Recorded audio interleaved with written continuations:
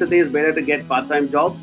Is there any uh, difference studying inside Auckland and outside Auckland? In terms of getting part-time jobs, Grishma, I think you are the. Uh, uh, in fact, in my uh, seminar in um, uh, on Sunday in Auckland, I was telling them the collected uh, the, the assembled people that you know earlier I used I also used to think that only the large cities have opportunities, but then I've traveled very extensively across New Zealand about three or four times. I've done tip to tip about three or four times, so I practically know every road in New Zealand. I don't want to sound immodest, but I actually have traveled very, very crazily across New Zealand. And I think very few people would have traveled New Zealand the way I have done. And I and I drive everywhere. I take my car and I drive. So I've changed my mind about the smaller towns. I think they have as many opportunities as the bigger towns. In fact, the government is now trying very, very hard to decongest of the bigger cities and send more people into the smaller cities. So you definitely have an advantage in studying outside Auckland because not only will your cost of living be lower, but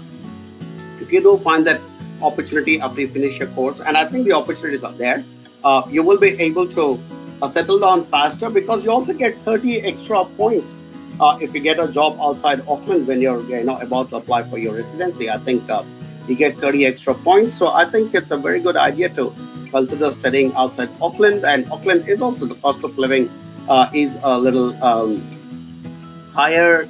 So I would strongly encourage